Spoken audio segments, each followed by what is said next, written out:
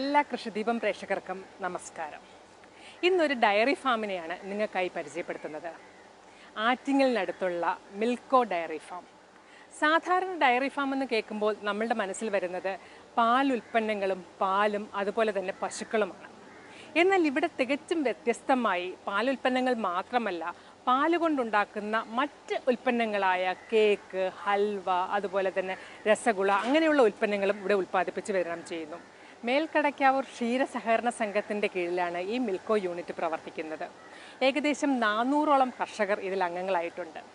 അവരുടെ പാലിന് ന്യായമായ വില ഉറപ്പിക്കുകയും അതുപോലെ തന്നെ അവരുടെ ഉൽപ്പന്നങ്ങൾ വിറ്റഴിക്കാനും സഹായിക്കുന്നു ഈ യൂണിറ്റ്.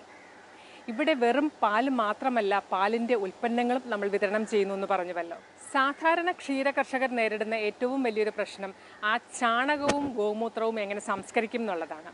അതിനും ഒരു പരിഹാരം ഈ ഫാം കണ്ടെത്തിയിട്ടുണ്ട്. ഇവിടെ ഉൽപ്പാദിപ്പിക്കുന്ന ചാണകത്തിന് പുറമെ മറ്റ് കർഷകരുടെ ഫാമുകളിൽ നിന്നുള്ള ചാണകവും സംഭരിച്ച് അത് ജൈവവളമാക്കി മാറ്റി ഉപയോഗിക്കുകയാണ്. അങ്ങനെ പശു വളർത്തലും ക്ഷീരവേസനവും അതുപോലെ തന്നെ അതിന്റെ ഉപോൽപ്പന്നങ്ങളും ചാണക സംസ്കരണവും എല്ലാം ചേർത്ത് സമഗ്രമായ ഒരു മാതൃകാപരമായ രീതിയിലുള്ള പ്രവർത്തനമാണ് ഈ മിൽക്കോ യൂണിറ്റ് കാഴ്ചവെക്കുന്നത്. നമുക്ക് ഈ മിൽക്കോയുടെ പ്രവർത്തനങ്ങൾ ഒന്ന് നേരിട്ട് കണ്ടാലോ?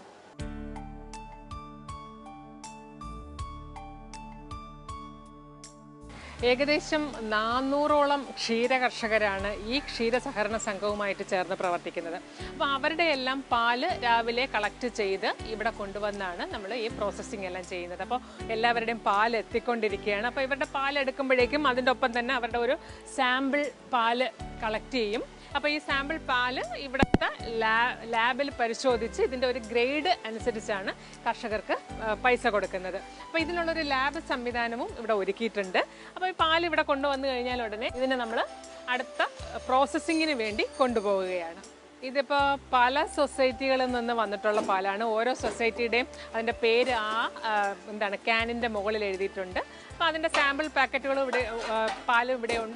ടെസ്റ്റ് ചെയ്തിട്ട് അവർക്ക് പൈസ കൊടുക്കും. അപ്പോൾ ഓരോരുത്തരുടെ ആയിട്ട് പാൽ ഇവിടെ കളക്ട് ചെയ്ത് നമ്മൾ പ്രോസസ്സിങ്ങിന് വേണ്ടി എടുക്കുകയാണ്. അപ്പോൾ ഈ എല്ലാ പാലും കൊണ്ടുവരുന്ന ഓരോ പാലിന്റെയും അതിന്റെ ഒരു ഫ്ലേവർ അതിന്റെ ഒരു മണം അവർ പരിശോധിക്കുകയാണ്. അപ്പോൾ ഇത് നല്ല എക്സ്പേർട്ട് ആയിട്ടുള്ള ആളാണ് പാലിന്റെ ഒരു മണം പരിശോധിക്കുന്നത്. ഏകദേശം ഒരു ആയിരം കവർ നമ്മൾ ഇതിൽ നിന്ന് പാൽ കവറിലാക്കുകയാണെങ്കിൽ ഒരു ക്യാനിൽ എന്തെങ്കിലും ഒരു മണം ഉണ്ടായിരുന്നാൽ മതി. അത് ആ പാലിനെ മൊത്തത്തിൽ ബാധിക്കും. കാരണം പാൽ വളരെ പെട്ടെന്ന് ഇതിന്റെ മണം പിടിച്ചെടുക്കും എന്നുള്ളതാണ് പ്രത്യേകത. അപ്പോൾ ഓരോ ക്യാനിലെയും മണം അവർ പ്രത്യേകം ടെസ്റ്റ് ചെയ്തതിന് ശേഷമാണ് ഇവിടെ സ്വീകരിക്കുന്നത്. അപ്പോൾ ഇതിപ്പോൾ വിവിധ സൊസൈറ്റികളിൽ നിന്ന് കൊണ്ടുവന്നിട്ടുള്ള പാലാണ് എടുക്കുന്നത്. അപ്പോൾ ഇത് ഇവിടെയും ഈ സൊസൈറ്റിയിൽ നിന്ന് കൊണ്ടുവരുന്ന പാലിന്റെയും സാമ്പിൾ ഇവിടെ പരിശോധിക്കും. സാമ്പിൾ എടുത്തതിന് ശേഷം അത് പരിശോധിച്ച് അതിന്റെയും ഒരു ഗ്രേഡ് നിശ്ചയിച്ചിട്ടാണ് സൊസൈറ്റിക്കുള്ള വില നിശ്ചയിക്കുന്നത്. കർഷകരിൽ നിന്ന് കൊണ്ടുവരുന്നതാണെങ്കിലും കർഷകർ അവിടെ നിന്നൊരു സാമ്പിൾ കൊടുക്കുമെങ്കിലും അത് വീണ്ടും ഇവിടെ ഒന്ന് പരിശോധിക്കും. കാരണം ഇവരെടുത്ത സാമ്പിളിൽ നിന്ന് എന്തെങ്കിലും വ്യത്യസ്തമായിട്ടുള്ള പാലാണോ കൊണ്ടുവന്നിട്ടുള്ളതെന്നും കൂടെ പരിശോധിച്ചതിന് ശേഷമാണ് അവരിത് പ്രോസസ്സ് ചെയ്യുന്നതിന് വേണ്ടി എടുക്കുന്നത്. ഇതിപ്പോൾ നമ്മൾ കർഷകരുടെ നിന്ന് കളക്ട് ചെയ്ത പാൽ അരിച്ചതിന് ശേഷം ഡം ടാങ്കിലേക്ക് ഒഴിക്കുകയാണ്. ഈ ഡം ടാങ്ക് നിന്നാണ് ഇതിനെ പാസ്ചറൈസ് ചെയ്യുന്നതിന് വേണ്ടിയിട്ട് പമ്പ് ചെയ്ത് മാറ്റുന്നത്. പാലിൽ പൊടി എന്തെങ്കിലും ഉണ്ടെങ്കിൽ ഇതിൽ അരിച്ചു മാറ്റും. അരിച്ചു മാറ്റിയതിന് ശേഷം സാമ്പിൾ എടുത്തതിന് ശേഷമാണ് ഡം ടാങ്കിലേക്ക് മാറ്റുന്നത്.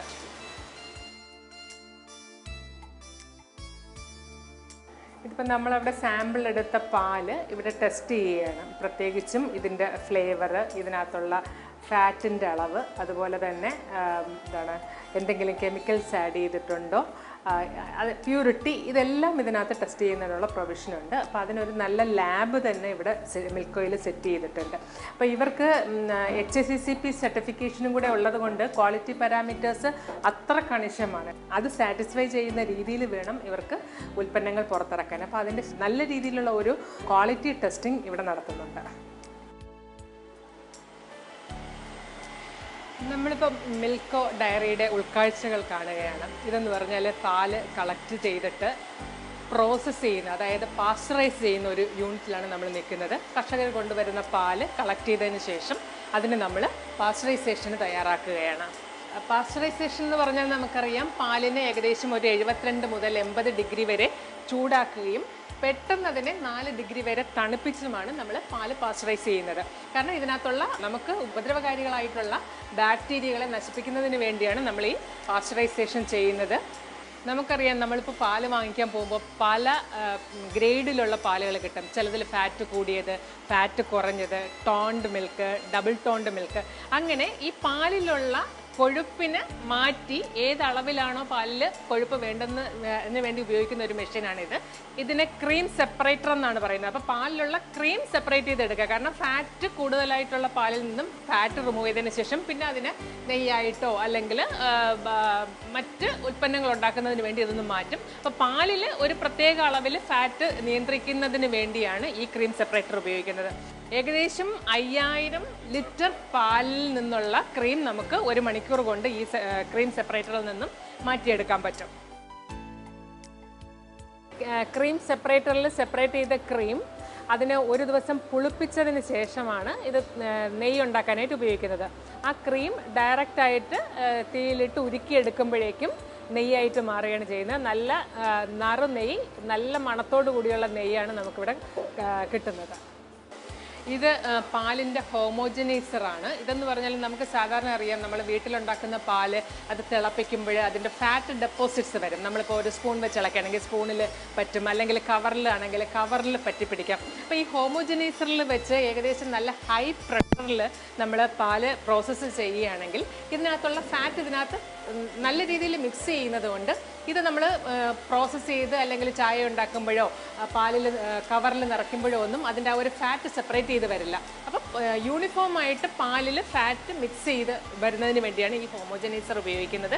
പാൽ ഉപയോഗിച്ച് കച്ചവടം നടത്തുന്നവർക്കെല്ലാം വളരെ ലാഭകരമായി അല്ലെങ്കിൽ ഒരു ചായ കടക്കാരനാണെങ്കിൽ കൂടുതൽ ചായ സാധാരണ പാൽ ഉപയോഗിക്കുന്നതിനേക്കാളും കൂടുതൽ ചായ ഈ ഹോമോജനൈസ്ഡ് പാൽ ഉപയോഗിക്കുകയാണെങ്കിൽ അവർക്ക് കിട്ടും. അതാണ് ഇതിന്റെ ഒരു അഡ്വാന്റേജ് എന്ന് പറയുന്നത്. ഇവിടെ ഇപ്പോൾ ഈ പ്ലാന്റിൽ പാൽ മാത്രമല്ല പ്ലാന്റിൽ തൈരും അതുപോലെ തന്നെ പാലും ഒരുമിച്ചാണ് അതിന്റെ ഒരു പ്രോസസ്സിങ് നടക്കുന്നത്.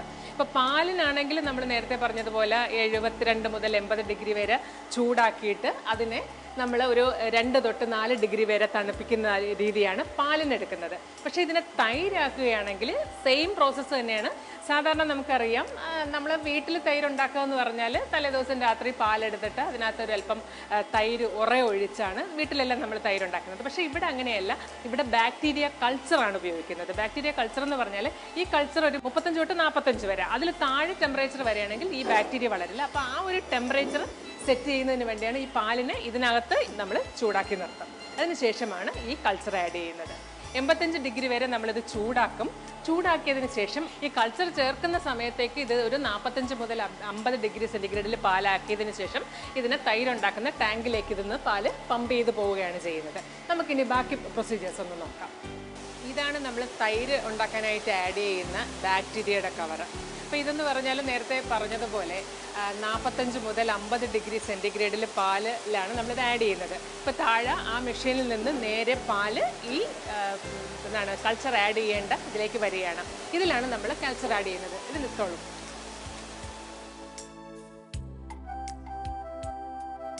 ഇപ്പൊ നമ്മൾ ഈ പാക്കറ്റ് എന്ന് പറഞ്ഞാൽ ഒരു ആയിരം ലിറ്ററിന് ഈ ഒരു പാക്കറ്റിലുള്ള കൾച്ചർ മതിയാകും. ഇവിടെ കമേഴ്ഷ്യലായിട്ട് ചെയ്യുമ്പോഴത്തേക്കും നമ്മൾ ഈ കൾച്ചർ ഉപയോഗിച്ച് ചെയ്യുന്നു എന്ന് പറയുമ്പോൾ ഇതിന്റെ ഒരു ഗുണനിലവാരം വളരെ കൂടുതലായിരിക്കും. കണ്ടാമിനേഷൻ കുറവായിരിക്കും. അതുപോലെ തന്നെ അതിന്റെ ഒരു ഷെൽഫ് ലൈഫും കൂടും എന്നുള്ളതാണ് ഈ കൾച്ചർ ഉപയോഗിക്കുന്നത് കൊണ്ടുള്ള പ്രത്യേകത. അതോടൊപ്പം തന്നെ രുചിയും കൂടും. ഇതിൽ നമ്മൾ എത്ര സമയം ഈ കൾച്ചർ ഇട്ടേക്കും? ഒരു ഇരുപത്തഞ്ച് മിനിറ്റ് നമ്മൾ ഈ പാലിൽ കൾച്ചർ ഇവിടെ ഇട്ടതിന് ശേഷമാണ് നേരെ ഇതിനെ പാക്കിംഗ് യൂണിറ്റിലേക്ക് പോകുന്നത്. അപ്പോൾ ഇവിടെ പാലിനും തൈരിനും സെപ്പറേറ്റ് പാക്കിംഗ് യൂണിറ്റ് ആണ്. അപ്പോൾ ഇതിൽ നിന്നുള്ള പാൽ നേരെ നമ്മുടെ തൈരിന്റെ പാക്കിംഗ് യൂണിറ്റിലേക്കാണ് പോകുന്നത്. നമുക്കിനി ഇതിന്റെ ഒരു പാക്കിംഗ് കാണാം. ഇപ്പം നമ്മൾ നാൽപ്പത്തഞ്ച് ഡിഗ്രി സെന്റിഗ്രേഡിൽ കൾച്ചർ ആഡ് ചെയ്ത പാലാണ് ഒരു ഇരുപത്തഞ്ച് മിനിറ്റിന് ശേഷം ഈ പാക്കിങ്ങിനായിട്ട് വരുന്നത്. അപ്പോൾ ഇതിനകത്ത് ഇതൊരു പാക്കിംഗ് മെഷീനാണ് തൈര് പാക്ക് ചെയ്യുന്ന പാക്കിംഗ് മെഷീനാണ് ഇത് ഏകദേശം മിനിറ്റിൽ മുപ്പത്തഞ്ച് കവറോളം നമുക്ക് പാക്ക് ചെയ്യാൻ സാധിക്കും. പാക്ക് ചെയ്തതിന് ശേഷം ഒരു നാല് മണിക്കൂർ കാരണം നമ്മൾ ഇതിനകത്ത് ബാക്ടീരിയ ആഡ് ചെയ്തിരിക്കുകയാണ്. ഒരു നാല് മണിക്കൂർ കഴിയുമ്പോഴേക്കും ഇത് തൈരായിട്ട് മാറും. അതിനുശേഷം തണുപ്പിച്ചതിന് ശേഷമാണ് നമ്മൾ മാർക്കറ്റിലേക്ക് കൊടുക്കുന്നത്. നമ്മൾ പാൽ പാസ്ചറൈസ് ചെയ്തതിന് ശേഷം അതിന് ടെമ്പറേച്ചർ നാല് ഡിഗ്രി ടു രണ്ട് തൊട്ട് നാല് ഡിഗ്രി വരെ ടെമ്പറേച്ചറിലാക്കി അപ്പോൾ അവിടെ നിന്ന് നേരെ ഇതിനെ സ്റ്റോറേജ് ടാങ്കിൽ പോവുകയാണ് ചെയ്യുന്നത്. സ്റ്റോറേജ് ടാങ്കിൽ വെച്ചാണ് അതിന്റെ സ്റ്റാൻഡർഡൈസേഷൻ നടക്കുന്നത്. ഇപ്പം നമ്മൾ പാലിൽ എത്ര ഫാറ്റ് വേണമെന്ന് നിശ്ചയിക്കുന്നത് ആ ടാങ്കിലാണ് ടാങ്കിൽ നമ്മൾ പാൽ ആഡ് ചെയ്യുന്നതനുസരിച്ചാണ് അതിന്റെ ഫാറ്റ് നിയന്ത്രിക്കുന്നത്. അപ്പം നമുക്ക് ചിലതിൽ ഫാറ്റ് കൂടിയ പാലായിരിക്കും അല്ലെങ്കിൽ ഫാറ്റ് കുറഞ്ഞ പാലാണെങ്കിൽ ആ രീതിയിലുള്ള പാൽ ആ ടാങ്കിൽ സെറ്റ് ചെയ്തതിന് ശേഷമാണ് ഈ മെഷീനിൽ നമ്മൾ പാൽ പാക്ക് ചെയ്യുന്നത്. ഇതിപ്പം അര ലിറ്റർ പാലാണ് രണ്ട് ഇതിലായിട്ട് പാക്ക് ചെയ്തുകൊണ്ടിരിക്കുന്നത് നമുക്കറിയാം റോളായിട്ടുള്ള പ്ലാസ്റ്റിക് കവേഴ്സ് ചൂട് കൊടുത്ത് സീൽ ചെയ്ത് കട്ട് ചെയ്ത് കവറുകളാക്കി സ്റ്റോർ ചെയ്യാനായിട്ട് കൊണ്ടുപോവുകയാണ്. ഇങ്ങനെ എടുക്കുന്ന പാൽ കവറിലാക്കിയ പാൽ നമ്മളിവിടെ ഒരു നാല് ഡിഗ്രി സെന്റിഗ്രേഡിലാണ് നമ്മൾ കീപ്പ് ചെയ്യുന്നത്. അപ്പോൾ ട്രാൻസ്പോർട്ടേഷൻ ടൈമിലും ഈ നാല് ഡിഗ്രി ടെമ്പറേച്ചർ കീപ്പ് ചെയ്യും. പാൽ പല കടകളിലും പുറത്ത് വെക്കുന്നത് കാണാറുണ്ട്. ശരിക്കും പാൽ സൂക്ഷിക്കുന്നത് എപ്പോഴും ഒരു നാല് ഡിഗ്രി സെന്റിഗ്രേഡിൽ സൂക്ഷിച്ചാൽ അതിനകത്ത് ബാക്ടീരിയ വളരാതിരിക്കും. അത് ചീത്തയാകാതെ ഇരിക്കും പക്ഷെ പലപ്പോഴും നമ്മൾ ശ്രദ്ധിക്കാറില്ല. പുറത്ത് പാൽ വെക്കാറുണ്ട്. അതെന്റെ ഒരു ശരിയായ രീതിയല്ല. എപ്പോഴും ഇങ്ങനെ നാല് ഡിഗ്രി സെന്റിഗ്രേഡിൽ വേണം നമ്മൾ പാസ്ചറൈസ് ചെയ്ത പാൽ സൂക്ഷിക്കാനായിട്ട്. ഇതിനെ നമ്മൾ സ്റ്റോറിംഗ് സ്ഥലത്തേക്ക് കൊണ്ടുപോവുകയാണ്. ഇപ്പോൾ ഇവിടെ പാക്ക് ചെയ്യുന്ന പാൽ. ഇതിപ്പം നമ്മൾ പാക്ക് ചെയ്ത പാൽ സ്റ്റോർ റൂമിലേക്ക് വെക്കുകയാണ്. ഏകദേശം നാല് ഡിഗ്രി സെന്റിഗ്രേഡിലാണ് സ്റ്റോർ റൂം സെറ്റ് ചെയ്തിരിക്കുന്നത്. ഇതിനെ നമ്മൾ ആവശ്യാനുസരണം സ്റ്റോർ ചെയ്തതിന് ശേഷമാണ് ഡിസ്ട്രിബ്യൂഷൻ സെന്റേഴ്സിലേക്ക് കൊടുക്കുന്നത്. ഇപ്പോൾ നമ്മുടെ ഈ പാൽ ഡിസ്ട്രിബ്യൂഷനായിട്ട് തയ്യാറായിരിക്കുകയാണ്. നമ്മൾ ഒരു ഇൻസുലേറ്റഡ് വാനിലാണ് ഈ പാൽ ഡിസ്ട്രിബ്യൂട്ട് ചെയ്യുന്നത്. അതായത് നമ്മൾ നാല് ഡിഗ്രി സെന്റിഗ്രേഡിൽ പാൽ ഇതിനകത്ത് വെച്ചാൽ ലോങ് ഡിസ്റ്റൻസ് പോകുമ്പോൾ ഈ നാല് ഡിഗ്രി തന്നെ കീപ്പ് ചെയ്യാൻ പറ്റും. അതിനാണ് ഈ ഇൻസുലേറ്റഡ് വാൻസ് ഉപയോഗിക്കുന്നത്.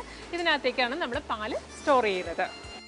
നമ്മൾ പ്രത്യേകം ശ്രദ്ധിക്കേണ്ട കാര്യം കൂടുതൽ ഡിസ്റ്റൻസ് പോകുന്ന സ്ഥലങ്ങളിലേക്കാണെങ്കിൽ ഇതുപോലെ ഇൻസുലേറ്റഡ് വാനിൽ തന്നെ ആയിരിക്കണം നമ്മൾ പാൽ ഡിസ്ട്രിബ്യൂട്ട് ചെയ്യുന്നത്.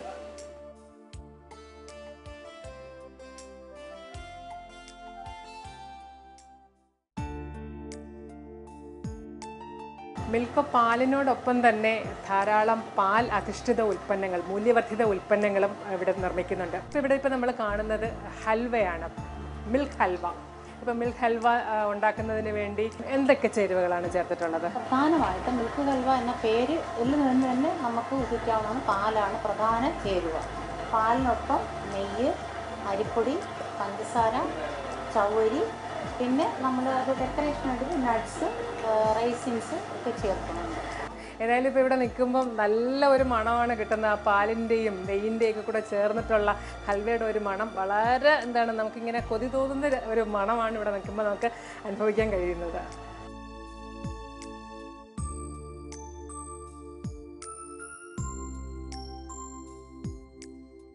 ഇവിടെ ഇപ്പോൾ പാൽ ഉൽപ്പന്നങ്ങളെന്ന് പറഞ്ഞാൽ എന്താണ് വിവിധ തരം പലഹാരങ്ങളാണ് നിരന്നിരിക്കുന്നത്. കേക്ക് തന്നെ പല രീതിയിലുള്ള കേക്ക്. ഹൽവ ഒരു മൂന്ന് തരത്തിലുള്ള ഹൽവ ലഡു ഉണ്ട് പേടയുണ്ട് അതുപോലെ തന്നെ ഗുലാബ് ജാമുണ്ട് രസഗുള നല്ല പാൽപ്പായസം അതുപോലെ തന്നെ പനീർ കൊണ്ടുള്ള നമ്മുടെ സമോസ പനീർ കൊണ്ടുള്ള അച്ചാറ് പാലിൽ നിന്ന് പനീർ മാറ്റി കഴിഞ്ഞിട്ടുള്ള ആ ഒരു ഗേ. ആ ലിക്വിഡ് സാധാരണ ആൾക്കാർ കളയാണ് ചെയ്യുന്നത്. പക്ഷേ അതും വളരെ ന്യൂട്രീഷ്യസ് ആയിട്ടുള്ള ഒരു പാനീയമാണ്. അതിനെയും ഒരു ഈറ്റബിൾ ഡ്രിങ്ക് ആയിട്ട് ഇവിടെ മാറ്റി വെച്ചിരിക്കുകയാണ്. നമുക്ക് വിവിധ തരം ഉൽപ്പന്നങ്ങളാണ് മിൽക്കോ ഇവിടെ ഉണ്ടാക്കി വിതരണം ചെയ്യുന്നത്. ഇതെല്ലാം നമ്മുടെ മാർക്കറ്റിൽ അവൈലബിൾ ആണ്. പ്രത്യേകിച്ച് ഒരു പ്രിസർവേറ്റീവ്സ് ഒന്നും തന്നെ ആഡ് ചെയ്യാതെ ഉണ്ടാക്കുന്നത് കൊണ്ട് ഇതിനൊരു വലിയ ഷെൽഫ് ലൈഫ് നമുക്ക് പ്രതീക്ഷിക്കാൻ പറ്റില്ല. എങ്കിൽ പോലും രണ്ട് മുതൽ അഞ്ച് ദിവസം വരെ ഇത് നമുക്ക് ചീത്തയാകാതെ സൂക്ഷിക്കാം. ഏഴ് ദിവസം വരെയും ഇത് ചീത്തയാകാതെ സൂക്ഷിക്കാം. പക്ഷേ നമ്മൾ ഇപ്പം കേക്കൊക്കെ ചില കേക്ക് കമ്പനികളുടെ കേക്കൊക്കെ ആണെങ്കിൽ അതിനകത്ത് പ്രിസർവേറ്റീവ്സ് ഇട്ട് നമുക്ക് മാസങ്ങളോളം സൂക്ഷിക്കാവുന്ന കേക്കുകൾ ഉണ്ടാക്കും. പക്ഷേ അതൊക്കെ എത്രത്തോളം നമ്മുടെ ആരോഗ്യത്തിന് ഹാനികരമാണെന്ന് നമുക്കറിയാം. ആ സ്ഥാനത്താണ് ഒരു പ്രിസർവേറ്റീവ് പോലും ഇല്ലാതെ ഇത്രയും ഉൽപ്പന്നങ്ങൾ മിൽക്കോ ഉൽപ്പാദിപ്പിച്ച് വിതരണം ചെയ്യുന്നത്. ഈ ഹൽവയും കേക്കും എല്ലാം തന്നെ വളരെ ശുദ്ധമായ പാലിൽ വളരെ ക്വാളിറ്റി ഉറപ്പ് വരുത്തി ശുദ്ധമായിട്ടും വളരെ രുചികരമായും അതോടൊപ്പം തന്നെ ക്വാളിറ്റിയും മെഷർ ചെയ്തിട്ട് ഉണ്ടാക്കിയിട്ടുള്ള പ്രോഡക്റ്റ്സ് ആണ്. ഇപ്പോൾ ഇവരെ സംബന്ധിച്ചിടത്തോളം ഇതൊരു ഗ്രാമപ്രദേശത്താണ് ഈ നമ്മുടെ മിൽക്കോ നിലനിൽക്കുന്നത്. ഇവിടെയുള്ള മാർക്കറ്റ് മാത്രം കൊണ്ട് ഇവർക്ക് ഈ ഒരു സൊസൈറ്റി പിടിച്ചു നിർത്താൻ സാധിക്കില്ല. അപ്പോൾ ഇതിനൊരു നല്ല മാർക്കറ്റ് കണ്ടെത്തുക എന്നുള്ള ഒരു ചലഞ്ച് ഇവരെ സംബന്ധിച്ച് ഉണ്ട്. കൂടുതൽ മാർക്കറ്റിംഗ് വരികയാണെങ്കിൽ ഇതിൽ കൂടുതൽ ഉൽപ്പന്നങ്ങൾ ഉണ്ടാക്കാനും വിതരണം ചെയ്യാനും മിൽക്കോ തയ്യാറാണെന്നാണ് പറയുന്നത്. ഇത് മിൽക്കോയുടെ സിപ്പപ്പ് പ്രൊഡക്ഷൻ യൂണിറ്റ് ആണ് ഇവിടെ ഇപ്പം നമ്മളിപ്പോൾ കാണുന്നത് സ്ട്രോബെറി സിപ്പപ്പാണ് ഏകദേശം അഞ്ച് ഇനം അല്ലെങ്കിൽ അഞ്ച് ഫ്ലേവറിലുള്ള സിപ്പപ്പ് ഇവിടെ ഉണ്ടാക്കുന്നുണ്ട്. അതിൽ പ്രധാനമായിട്ടും ചോക്ലേറ്റ് ഉണ്ടാക്കുന്നുണ്ട് പിസ്ത ഉണ്ടാക്കുന്നുണ്ട് വാനില ഉണ്ടാക്കുന്നുണ്ട് അതുപോലെ തന്നെ സ്ട്രോബെറി. ഇതിപ്പോൾ സ്ട്രോബെറിയുടെ സിപ്പപ്പ് ഉണ്ടാക്കുന്നതാണ് നമ്മളിവിടെ കാണുന്നത്. ഇതിപ്പോൾ നമ്മൾ മിൽക്കോയുടെ ഐസ്ക്രീം പ്ലാന്റിലാണ് നിൽക്കുന്നത്. ഏകദേശം ആറ് ഫ്ലേവറിലുള്ള ഐസ്ക്രീം ഇവിടെ ഉൽപ്പാദിപ്പിക്കുന്നുണ്ട്. അത് തന്നെ എഴുപത് എം എൽ പാക്കറ്റ് തൊട്ട് നാല് ലിറ്റർ പാക്കറ്റ് വരെയുള്ള രീതിയിലാണ് ഇവിടെ ഐസ്ക്രീം പാക്ക് ചെയ്ത് വിൽപ്പനയ്ക്ക് ഒരുക്കിയിട്ടുള്ളത്. ഈ മിൽക്കോയുടെ പ്രസിഡന്റ് ശ്രീ സുരേഷും അതിന്റെ സെക്രട്ടറി ശ്രീ അനിൽകുമാറുമാണ് നമ്മളോടൊപ്പം ഉള്ളത് അപ്പോൾ ഇതിന്റെ പ്രവർത്തനങ്ങൾ എങ്ങനെയാണെന്ന് ഇവരോട് തന്നെ നമുക്കൊന്ന് ചോദിച്ചറിയാം. അനിൽ ഇതിപ്പം ഈ ക്ഷീര വ്യവസായ സഹകരണ സംഘത്തിൽ നിന്ന് ഈ മിൽക്കോ എന്ന് പറയുന്ന ഒരു യൂണിറ്റിലേക്കുള്ള ഒരു ചേഞ്ച് അതെങ്ങനെയായിരുന്നു? നമ്മൾ ഈ സ്ഥാപനം എന്ന് പറയുന്ന മേൽക്കുടിക്കാവ് ക്ഷീരവ്യവസായ സഹകരണ സംഘം എന്ന് പറയുന്ന ആയിരത്തി തൊള്ളായിരത്തി എഴുപത്തിരണ്ടിൽ ആരംഭിച്ച ഒരു സ്ഥാപനമാണ്. പക്ഷെ അതിന്റെ പ്രവർത്തന മികവ് കൊണ്ട് ഏകദേശം രണ്ടായിരമൊക്കെ ആയപ്പോഴത്തേക്ക് ഞങ്ങൾ കർഷകർ ഉൽപ്പാദിപ്പിക്കുന്ന പാൽ മൊത്തം സംഭരിച്ച് നമുക്ക് വിപണനം നടത്താൻ കഴിയാത്ത ഒരു സാഹചര്യം ഉണ്ടായി. ആ സമയത്താണ് നമ്മൾ ഒരു പ്ലാന്റ് സ്ഥാപിക്കണമെന്ന് ആലോചിക്കുകയും അത് രണ്ടായിരത്തി അഞ്ചിൽ നമുക്ക് നടപ്പിലാക്കാൻ കഴിഞ്ഞു അങ്ങനെയാണ് ഈ മിൽക്കോ എന്ന ബ്രാൻഡിൽ ഈ ഈ കാണുന്ന സ്ഥലത്ത് നമ്മൾ പ്ലാന്റ് ആരംഭിച്ചു ഇതിന്റെ പ്രവർത്തന നേട്ടം കൊണ്ടുണ്ടായ ഫണ്ട് പിന്നെ ബാങ്ക് ലോൺ മറ്റ് ധനസഹായം നമ്മുടെ ഡിപ്പാർട്ട്മെന്റിന്റെയൊക്കെ ധനസഹായം കൊണ്ടാണ് ഞങ്ങൾ ഈ പ്ലാന്റ് സ്ഥാപിച്ചത്. ഇപ്പോൾ ഏകദേശം എത്ര കർഷകരാണ് ഈ സഹകരണ സംഘത്തിന്റെ കീഴിൽ പ്രവർത്തിക്കുന്നത്? നാനൂറിൽ പരം കർഷകർ നമ്മുടെ ഈ സഹകരണ സംഘമായിട്ട് ബന്ധപ്പെട്ട് പ്രവർത്തിക്കുന്നുണ്ട്. അപ്പോൾ ഇവരെല്ലാവരും പശു വളർത്തുന്നവരാണോ? പശു വളർത്തുന്നത് അനുസരിച്ചാണ് മെമ്പർഷിപ്പിൽ അംഗമായി വരുന്നത്. പാൽ കൊടുക്കാത്തത് മെമ്പർഷിപ്പ് ഓട്ടോമാറ്റിക്കായിട്ട് കട്ടാവുന്ന ഒരു സ്ഥിതിയാണ്. നിങ്ങളിപ്പം ഇവിടെ ഈ പാൽ കർഷകരിൽ നിന്ന് സംഭരിക്കുന്നു. അത് വാല്യൂ ആഡഡ് പ്രോഡക്ട്സ് ആക്കി എല്ലാം മാറ്റുന്നുണ്ട്. അപ്പോൾ കർഷകർക്ക് ഇപ്പോൾ ഒരു പാലിന്റെ വില എന്നുള്ള രീതിയിൽ കൊടുക്കുകയല്ലാണ്ട് ഈ ഒരു സ്ഥാപനത്തിന്റെ ലാഭം അവർക്ക് കിട്ടുന്നുണ്ടോ? തീർച്ചയായിട്ടും കൊടുക്കുന്നുണ്ട്. ബോണസ് ആയിട്ട് കൊടുക്കുന്നുണ്ട്. സ്ഥാപനത്തിന്റെ അർഹിക്കുന്ന അത്രയും ലാഭം കൊടുക്കാൻ കഴിയും ഓരോ ദിവസവും നമ്മൾ പുതിയ പുതിയ മേഖലയിൽ പോകുന്നുണ്ട്. അത്തരത്തിൽ ലിമിറ്റ് ചെയ്ത് കൊടുക്കാൻ കഴിയുന്നുള്ളൂ. എന്നാലും ബോണസ് കൊടുക്കുന്നുണ്ട്. ഇപ്പോൾ ഈ മിൽക്കോയുടെ കീഴിൽ എന്തെല്ലാം പ്രവർത്തനങ്ങളാണ് ചെയ്യുന്നത്? മിൽക്കോയുടെ കീഴിലാണ് ഇപ്പോൾ നമ്മൾ നേരത്തെ സെക്രട്ടറി പറഞ്ഞതുപോലെ പാൽ കവർ പാൽ അടിച്ചു കൊടുക്കുന്നു. അതിനുശേഷം നമ്മൾ ഐസ്ക്രീമിലോട്ട് തിരിഞ്ഞു. അതിൽ ഈ ഉൽപ്പ പിന്നെ മൂല്യവർത്തി ഉൽപ്പന്നങ്ങൾ സൃഷ്ടിക്കാനായിട്ട് ഒരുപാട് പദ്ധതികൾ ആസൂത്രണം ചെയ്തുകൊണ്ടിരിക്കുകയാണ്. അപ്പോൾ അതിനോടൊപ്പം തന്നെ നമ്മൾ ഈ കേരള സർക്കാർ ഈ കാർഷിക രംഗത്തോട്ട് തിരിച്ചപ്പോൾ ഒരുപാട് മുന്നിലായിട്ട് ഞങ്ങളും ഈ ചാണകം കർഷകർക്ക് ഒരു വലിയ ഭാരമായി മാറി. തെങ്ങ് കൃഷിയും റബ്ബർ കൃഷിയും നെൽകൃഷിയൊക്കെ അന്യം നിന്ന് പോയ ഈ കാലഘട്ടത്തിൽ ചാണകം ഒരു ബാധ്യതയായി അവർ എടുത്തു മാറ്റാൻ കഴിയാത്തതിലും പൊല്യൂഷൻ പ്രശ്നം ഉൾപ്പെടെ പഞ്ചായത്തിൽ ഉൾപ്പെടെ പരാതികളൊക്കെ വന്ന അവസരത്തിൽ ഞങ്ങൾക്ക് ഒരു ഡയറി ഫാം ഉണ്ട്. അവിടെ ഈ വിഷയം വന്നു. നമ്മളിത് എന്ത് ചെയ്യാമെന്നുള്ള കുറച്ച് ആഴത്ത് ചിന്തിച്ചതിന് ഫലമായി വളരെ സയന്റിസ്റ്റുകളോടൊക്കെ ബന്ധപ്പെട്ടതിന്റെ അടിസ്ഥാനത്തിൽ നമ്മൾ ഈ ചാണകം ജൈവവളമായി കൊടുക്കാനുള്ളത് കേരളത്തിൽ അങ്ങോളം ഇങ്ങോളൊക്കെ വിതരണം ചെയ്ത് വരികയാണ്. ഇവിടെ ഇപ്പം നമ്മൾ എന്താണ് പാൽ പ്രൊഡക്ഷൻ യൂണിറ്റ് ഉണ്ട് ഐസ്ക്രീം യൂണിറ്റ് ഉണ്ട് അതുപോലെ മൂല്യവർദ്ധിത ഉൽപ്പന്നങ്ങൾ ഉണ്ടാക്കുന്നുണ്ട്. അപ്പോൾ ഇതിന്റെയൊക്കെ ഒരു മാർക്കറ്റിംഗ് എങ്ങനെയാണ് ചെയ്യുന്നത്? നമ്മളെ സംബന്ധിച്ച് പാൽ തൈര് അങ്ങനെയുള്ള ഉൽപ്പന്നങ്ങൾ ഏകദേശം നമ്മളൊരു നാല് അഞ്ച് ജില്ലയോളം ഇപ്പോൾ കവർ ചെയ്യുന്നുണ്ട്. തിരുവനന്തപുരം കൊല്ലം ആലപ്പുഴ പത്തനംതിട്ട തുടങ്ങിയ ജില്ലകളെല്ലാം ഞങ്ങൾ മാർക്കറ്റ് ചെയ്യുന്നുണ്ട്. ഏകദേശം ഒരു പതിനയ്യായിരം ലിറ്റർ ഒരു ഒരു ദിവസം നമുക്ക് പാൽ മാർക്കറ്റ് ചെയ്യാൻ കഴിയുന്നു ഐസ്ക്രീമിനെ സംബന്ധിച്ച് ഏകദേശം രണ്ട് ജില്ല പൂർണമായും നമ്മൾ കവർ ചെയ്യുന്നുണ്ട്. നല്ല ഡിമാൻഡാണ് അത് സീസൺ സമയത്ത് ഒരു പക്ഷേ നമുക്കത് ഉൽപ്പാദനം നടത്താൻ കഴിയാത്തൊരവസ്ഥയിലാണ്. ഇനി അതിന്റെ എക്സ്പാൻഷൻ ആയിട്ട് നമ്മൾ മുന്നോട്ട് പോവുകയാണ്. അടുത്ത വർഷത്തോടു കൂടി എവിടെ ഒരു മൂന്ന് നാല് ജില്ലകൾ കവർ ചെയ്യുന്നതിനുള്ള ഒരു നടപടി സ്വീകരിച്ചു വരെയാണ് അതിന്റെ മാർക്കറ്റിംഗ് ശക്തമായി നടക്കുന്നതിന്റെ ക്വാളിറ്റി ഒന്നുകൊണ്ടാണ്. നമുക്ക് ക്വാളിറ്റിയിൽ യാതൊരുവിധ കോംപ്രമൈസും ഇല്ല. അതുകൊണ്ട് തന്നെയാണ് ഐസ്ക്രീം അത് ഉപയോഗിക്കുന്നവർ തിരിച്ചറിയുന്നുണ്ട്. അത്രയും മാർക്കറ്റ് നമുക്ക് ലഭിക്കുന്നു നമുക്കറിയാം സാധാരണ ഐസ്ക്രീം ഉണ്ടാക്കുന്നതിനകത്ത് കെമിക്കൽസ് പലതും ചേർത്ത് ആർട്ടിഫിഷ്യലായിട്ട് ഐസ്ക്രീം ഉണ്ടാക്കുന്നതാണ്. പക്ഷേ ഇവിടുത്തെ ഐസ്ക്രീം എന്ന് പറഞ്ഞാൽ ശുദ്ധമായ പാലിൽ അതിന് എന്താണ് ചേരുവകൾ ചേരാൻ പറ്റുന്ന ചേരുവകൾ മാത്രം ചേർത്തുണ്ടാക്കുന്ന ഐസ്ക്രീം ആയതുകൊണ്ട് കൊച്ചുകുട്ടികൾക്ക് പോലും വളരെ വിശ്വാസത്തോടു കൂടി കഴിക്കാം എന്നുള്ളതാണ് ഇവിടുത്തെ ഐസ്ക്രീമിന്റെ പ്രത്യേകത. ഈ ഒരു സംരംഭം ഇപ്പോൾ നിങ്ങൾ ഏതാണ്ട് ഒരു സെമി മെക്കനൈസ്ഡ് സ്റ്റേജിലെത്തി ഇതിനൊരു ഫുള്ളി ഓട്ടോണൈസ്ഡ് അല്ലെങ്കിൽ ഓട്ടോമാറ്റിക് യൂണിറ്റ് ആക്കി മാറ്റുന്നതിനുള്ള പ്രവർത്തനങ്ങൾ എന്തെങ്കിലും ആരും ആലോചിക്കുന്നുണ്ടോ? പ്രവർത്തനം നടക്കുന്നുണ്ട്. അല്പം സ്ഥല പരിമിതിയുണ്ട്. ഇനി പുതുതായി കുറച്ച് സ്ഥലങ്ങൾ കണ്ടെത്തേണ്ടി കണ്ടെത്തേണ്ടതായിട്ടുണ്ട്. അതൊക്കെ ഒന്ന് രണ്ട് വർഷത്തിനകത്ത് ഞങ്ങൾ സാധിച്ചെടുക്കും. സാധിച്ചെടുത്തു കഴിഞ്ഞാൽ ഇത് ഫുള്ളി മെക്കനൈസ് ചെയ്യാനുള്ള ഒരു ആലോചനയിലാണ്. അപ്പം നമുക്ക് ഭാവിയിൽ കംപ്ലീറ്റ് എന്താണ് ഓട്ടോമേറ്റഡ് ആയിട്ടുള്ള ഒരു പ്ലാന്റ് ആയി മിൽക്കോയെ കാണാം അല്ലേ? ഒരുപക്ഷെ നമ്മുടെ മിൽമയോടൊപ്പമോ അല്ലെങ്കിൽ മിൽമയ്ക്ക് മുകളിലോ ആയിട്ടുള്ള ഒരു സ്ഥാപനമായി ഇത് വളരും എന്ന് തന്നെ പ്രതീക്ഷിക്കാം അല്ലേ? തീർച്ചയായും. അതിനുള്ള ഒരു പ്രവർത്തനമാണ് നമ്മൾ നടത്തിക്കൊണ്ടിരിക്കുന്നത്. അത് തീർച്ചയായും വരും കൊല്ലങ്ങളിൽ സാധിക്കാൻ കഴിയും എന്നാണ് നമ്മുടെ വിശ്വാസം. ഈ മിൽക്കോ ഡയറി ഫാമിനെ ഒരു മോഡൽ ഫാമാക്കി മാറ്റുന്നതിന് ഇതിന്റെ അധികൃതർ ശ്രദ്ധിച്ചിട്ടുണ്ട്. അതിനായിട്ട് ഇവിടെ ഒരു പശു ഫാം തന്നെയാണ് അവരൊരുക്കിയിരിക്കുന്നത്. ഏകദേശം മുപ്പതോളം പശുക്കൾ എച്ച് എഫ് ഉണ്ട് ജേഴ്സി ഉണ്ട്.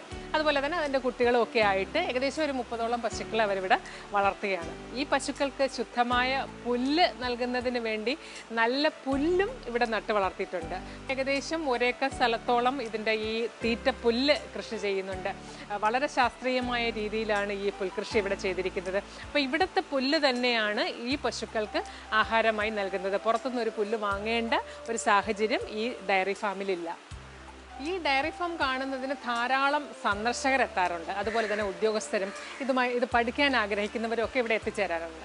അപ്പോൾ ഒരു മോഡൽ ഫാം കാണികൾക്ക് കാണിച്ചു കൊടുക്കാനും ഇത് ഉദ്ദേശിക്കുന്നുണ്ട്. അപ്പോൾ ഇതിന്റെ വേറൊരു പ്രത്യേകത എന്ന് പറയുന്നത് പല കർഷകരും പറയുന്നത് അവർക്ക് പശുവിനെ മാത്രം വളർത്തുന്നത് കൊണ്ട് ലാഭം ഉണ്ടാകുന്നില്ല എന്നാണ്. ഇവിടെ ഈ ഫാം ലാഭകരമാക്കിയിരിക്കുന്നത് എങ്ങനെയെന്ന് വെച്ചാൽ ഈ പശുക്കളുടെ ചാണകവും മൂത്രവും എല്ലാം വാല്യൂ ആഡഡ് പ്രോഡക്റ്റ് അതായത് മൂല്യവർദ്ധിത ഉൽപ്പന്നങ്ങളായിട്ട് ചാണകത്തിൽ നിന്നാണെങ്കിൽ പഞ്ചഗവ്യം അതുപോലെ തന്നെ ചാണകം ഉണക്കി പാക്ക് ചെയ്ത് വെക്കുന്നു.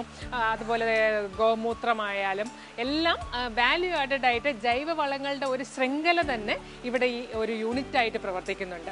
അപ്പം ആ ഫാമിൽ നിന്നുള്ള അല്ലെങ്കിൽ ആ ഒരു യൂണിറ്റിൽ നിന്നുള്ള ഉപോൽപ്പന്നങ്ങളും കൂടെ ചേർന്നിട്ടാണ് ഈ ഡയറി ഫാം ലാഭകരമായി പ്രവർത്തിക്കുന്നത്.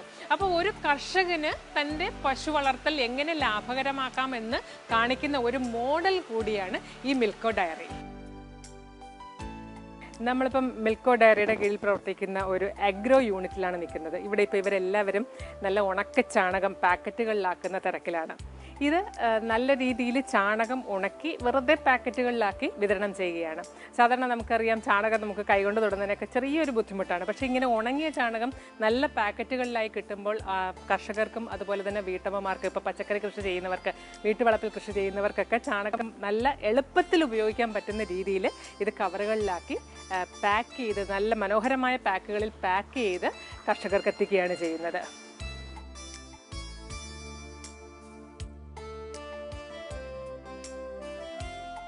ഇവിടെ ഇപ്പോൾ ഇവരിത് സമ്പുഷ്ടീകരിച്ച ചാണകം അതായത് ചകിരിച്ചോറും അതുപോലെ പ്ലാൻ ഗ്രോത്ത് പ്രൊമോട്ടേഴ്സും കൂടെയൊക്കെ ഇട്ടിട്ടുള്ള സമ്പുഷ്ടീകരിച്ച ചാണകം അരിച്ചെടുക്കുകയാണ്.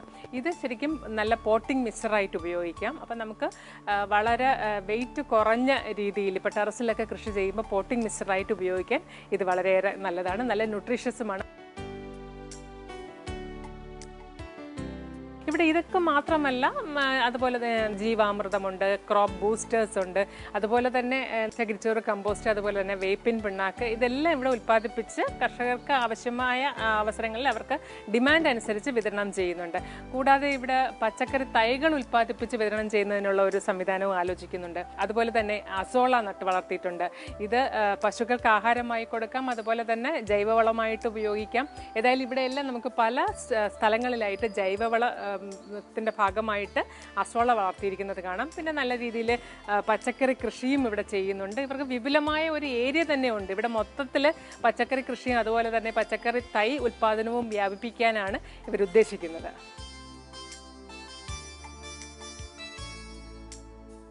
ആറ്റിങ്ങിൽ ആസ്ഥാനമാക്കി പ്രവർത്തിക്കുന്ന മിൽക്ക് ഡയറി യൂണിറ്റിന്റെ പ്രവർത്തനങ്ങൾ നിങ്ങൾക്ക് എല്ലാവർക്കും ഇഷ്ടമായില്ലേ? ചിട്ടയായ പ്രവർത്തനങ്ങളിലൂടെ നല്ല രീതിയിൽ പ്രവർത്തിക്കുന്ന ഒരു ഡയറി ഫാമാണ് ഇത്. ഇത് കർഷകർക്ക് മാത്രമല്ല മറ്റുള്ളവർക്കും വന്ന് കാണുന്നതിനും അതുപോലെ തന്നെ അറിവ് പകരുന്നതിനും പറ്റിയ ഒരു പാഠശാല കൂടിയാണ്. ഇവിടുത്തെ പ്രവർത്തനങ്ങളെക്കുറിച്ച് കൂടുതൽ അറിയാൻ ബന്ധപ്പെടാം. R. Anilkumar secretary Milco dairy Keezhattingal Thiruvananthapuram. Phone ഒമ്പത് എട്ട് നാല് ഏഴ് മൂന്ന് മൂന്ന് ഏഴ് നാല് മൂന്ന് പൂജ്യം.